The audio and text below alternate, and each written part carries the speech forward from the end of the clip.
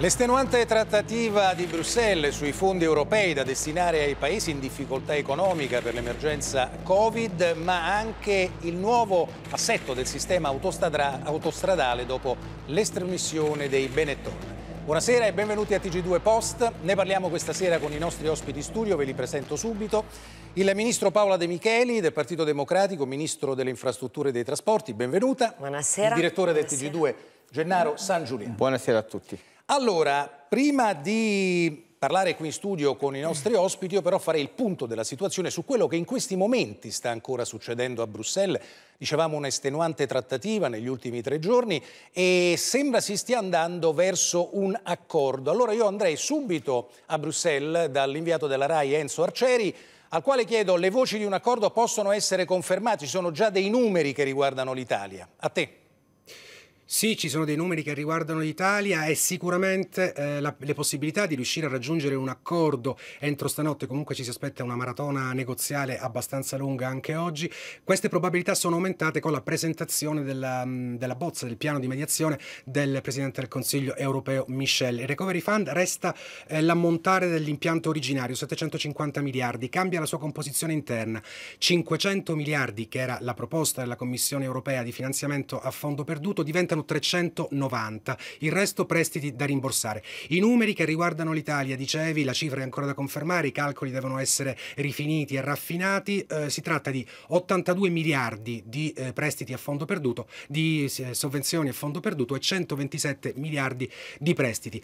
Altro aspetto che era stato un nodo eh, significativo durante il, ehm, il negoziato sono i rebates, cioè dire gli sconti sui contributi che eh, i singoli Stati membri versano al bilancio dell'Unione. Generalmente quelli che se ne avvantaggiano di più sono gli Stati ricchi d'Europa, infatti i maggiori rimborsi andranno a Olanda, eh, Danimarca, Austria, Svezia, cioè il gruppo dei, fruga- dei frugali, e alla Germania. Per il momento è tutto, vi restituisco la linea. Grazie Enzo Arcieri, torniamo in studio subito con il Ministro, perché Ministro noi immaginavamo che fosse una trattativa in salita quella di Bruxelles, si sapeva già alla vigilia, però non ci si aspettava una tale e tanta resistenza dai cosiddetti paesi frugali, quasi una resistenza al di là dell'aspetto economico, quasi culturale nei confronti dei paesi del sud dell'Europa, Eh, una diffidenza, chiamiamola così. Diciamo che anche noi ci abbiamo messo del nostro perché mi pare che al momento tra i vari paesi dell'Unione l'unico che non ha presentato ancora un piano organico sugli investimenti che faremo con i soldi che riceveremo è proprio l'Italia.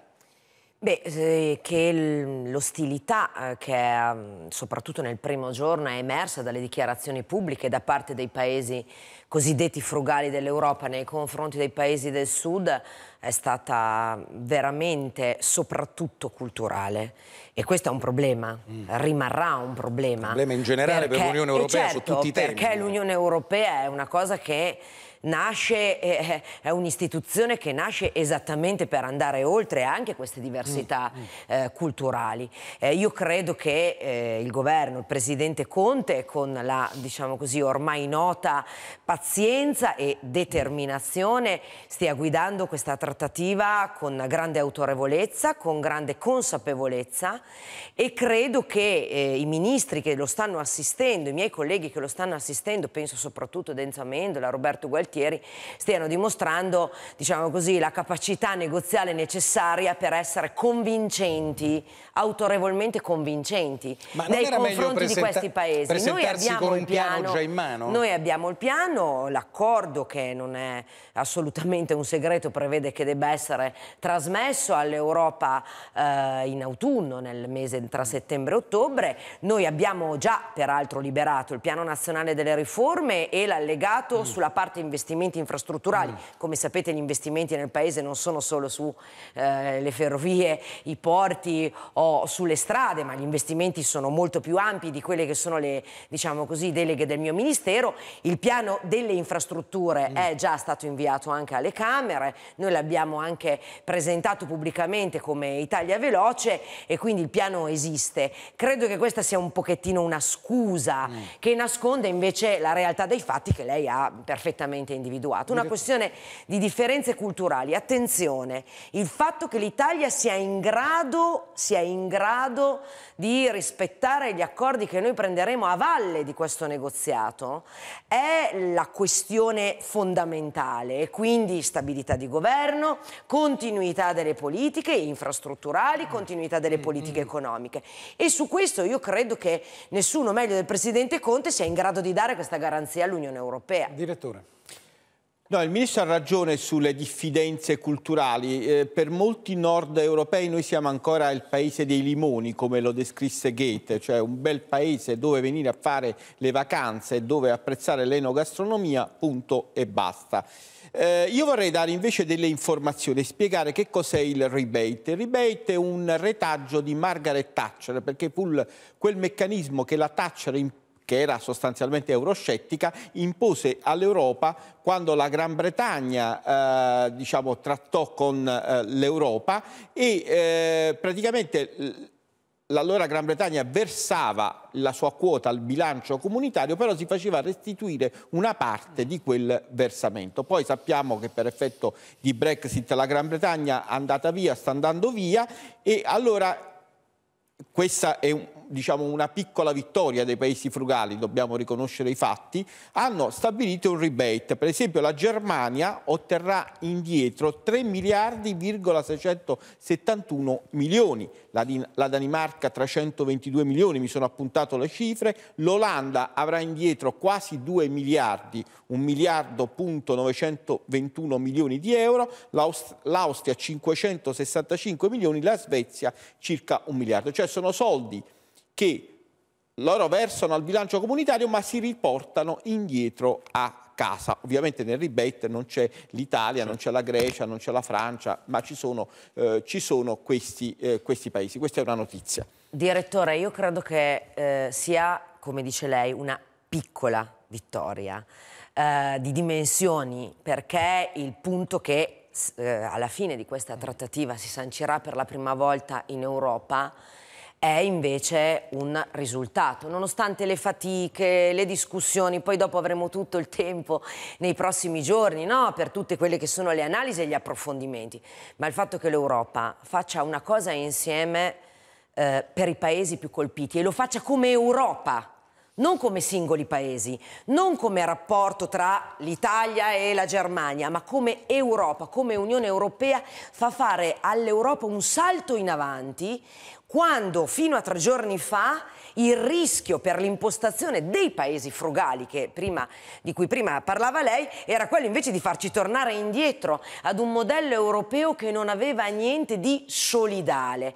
C'è un passaggio del riconoscimento delle difficoltà dei paesi che hanno subito maggiormente le conseguenze della pandemia, ma c'è anche un'altra grande idea dietro che è stata portata avanti dalla Commissione in quanto istituzione europea e non in quanto luogo di rappresentanza dei singoli stati. E il salto in avanti è che l'Europa fa una cosa insieme per i, per i paesi europei. E io credo un'iniziativa un miliardaria per sostenere l'economia dei paesi europei.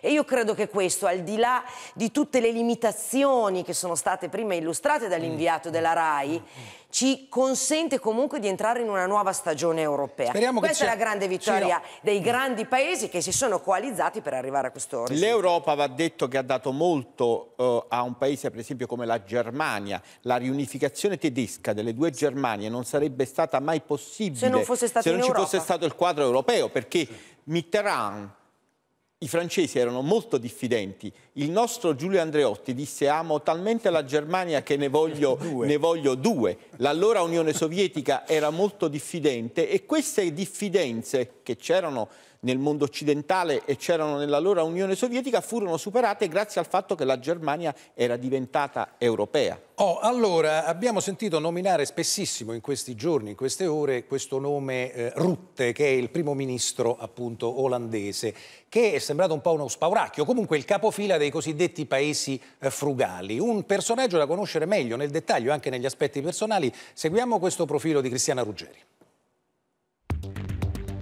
È il politico più longevo d'Europa dopo Angela Merkel, da dieci anni leader in Olanda con il Partito Popolare per la Libertà e la Democrazia di stampo liberal conservatore. La maggioranza degli italiani forse l'ha conosciuto di recente in pieno lockdown per un video divenuto virale. Non date i nostri soldi agli italiani e agli spagnoli, gli grida un netturbino. E lui risponde secco, no, Classe 1967, single, una laurea in storia, una grande passione per il pianoforte e per la squadra del Feyenoord. Mark Rutte è l'uomo che, secondo indiscrezioni, il presidente Macron avrebbe definito il poliziotto cattivo. Oggi la testa d'ariete dei cosiddetti paesi frugali. Figlio di un commerciante, sembra che la frugalità e l'ossessione per il controllo delle spese facciano parte del suo background. Guida un'auto usata, cui preferisce la bicicletta, abita nella stessa casa dell'AIA in cui si è trasferito dopo la laurea. Estremamente sobrio, Silvio, la vita non gli risparmia dolori. Ultimo di sette figli, perde il padre, una sorella e un fratello. Di recente la mamma, 96enne, a cui è molto legato, viene ricoverata in ospedale per coronavirus. Lui non va a trovarla per non violare le norme e dare l'esempio. La vede in tempo per dirle addio. Freddo, ligio al dovere, i sondaggi al momento premiano la sua intransigenza. Rutte intende presentarsi alle prossime elezioni come l'uomo che difende gli interessi degli euroscettici olandesi. Ma se continua a tirare la corda del negoziato, rischia di passare alla storia come l'artefice del fallimento dell'Unione.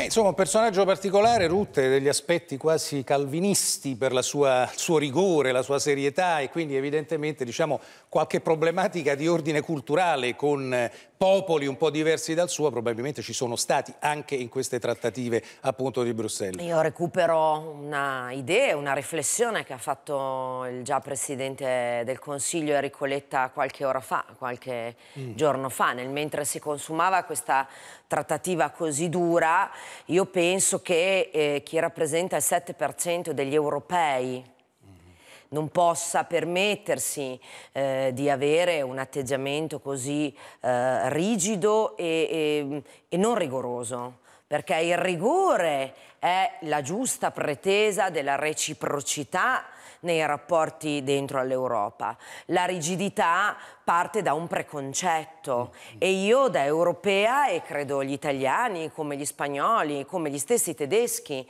non possiamo immaginare di stare dentro ad un'unione con prospettive forse di medio termine, anche federali, dove abbiamo tentato di sostenerci per esempio sulle questioni sanitarie nella mia città drammaticamente colpita da Covid, Piacenza, Piacenza sono, partite, sono partiti ammalati, sono stati curati a Francoforte. Quella lì è l'Europa alla quale quelli della mia generazione nati negli anni 70 aspirano.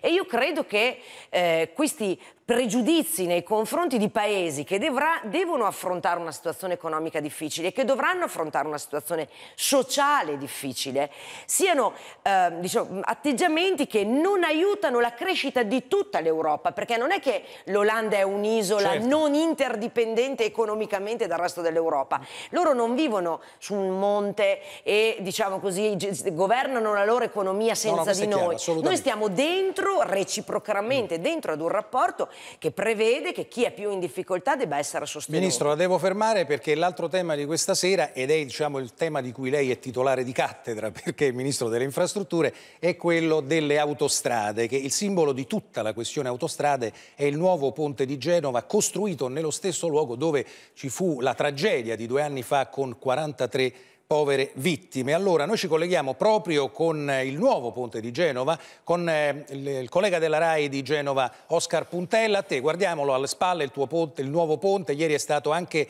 testato diciamo, sulla stabilità. A te Oscar. Oggi è stato il giorno numero due del collaudo statico del nuovo ponte di Genova. I tir eh, hanno praticamente spento i loro motori qualche ora fa, tir carichi di sabbia, un peso eh, per ciascuno di questi tir di 44 tonnellate. Oggi ne abbiamo contati 23, si sono posizionati in punti diversi del nuovo ponte di Genova e tutti i dati, tutte le informazioni raccolte sono state confrontate con quelle del progetto per capire se appunto la struttura in qualche modo e le le, eh, dire, quelle che possono essere appunto le ripercussioni sulla struttura di questi pesi sono conformi al progetto ovviamente del nuovo ponte, di quello che è il ponte di Genova, un ponte che la città ha desiderato e ha eh, voluto. Sono test questi che andranno avanti ancora eh, per cinque giorni, c'è anche eh, una data importante, quantomeno un insieme di date, quella che va dal primo agosto al 5 agosto. Il commissario alla ricostruzione Marco Bucci ha parlato di un arco temporale nel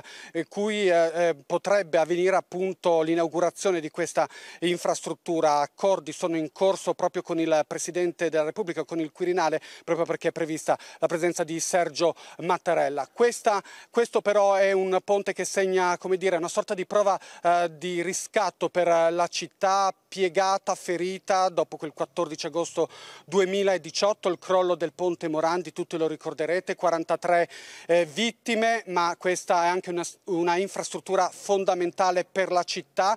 Ricordiamo che ogni auto che al momento non passa su questo pezzettino di A10 si riversa sulla viabilità cittadina, di fatto intasandola. Insomma, 705 giorni dopo questo crollo, il crollo del Ponte Morandi, questo nuovo ponte per una città grazie che vuole Grazie ad Oscar Puntelle, grazie Oscar. Allora, Ministro, eh, sembra dunque essersi risolta l'annosa, perché risaleva due anni fa, questione delle autostrade. Io al di là dei tecnicismi, degli aspetti giuridici, le vorrei chiedere qualcosa di concreto, cioè che cosa cambierà per gli utenti? Nel senso, lo Stato che al momento diventa gestore di quelle autostrade appunto eh, di cui parlavamo, sarà in grado ad esempio di calmierare le tariffe, faccio un esempio, oppure bisogna tenere, temere che vengano aumentate, le manutenzioni che erano il punto dolente appunto della precedente gestione, i servizi, che succede adesso? Innanzitutto io mi occupo di questo dossier dalla fine di settembre dell'anno scorso e eh, confermo quanto ho già detto più volte, questo è stato uno dei dossier più complicati che ho affrontato nella mia vita istituzionale che è diciamo così, che ha avuto anche qualche passaggio complicato anche prima, ma qui era veramente molto complicato. Detto questo, lo Stato non eh, subentra all'attuale proprietà che è di Atlantia, che è un gruppo controllato eh, dalla edizione che è della famiglia sì. Benetton, ma eh, ci sarà un aumento di capitale eh, con la presenza da, parte di Cassa Depositi e Prestiti, che è fuori dal perimetro del bilancio dello Stato e che gestisce il risparmio eh, postale. Quindi in realtà è un'operazione che consentirà ehm, la trasformazione di Autostrade per l'Italia in una public company, che è una cosa sostanzialmente diversa. Consentirà futuro, dalla... adesso esatto. le autostrade però vanno gestite de, adesso. Che è una cosa molto diversa da un'azienda statale. Dopo l'aumento di capitale di Cassa Depositi e Prestiti entreranno altri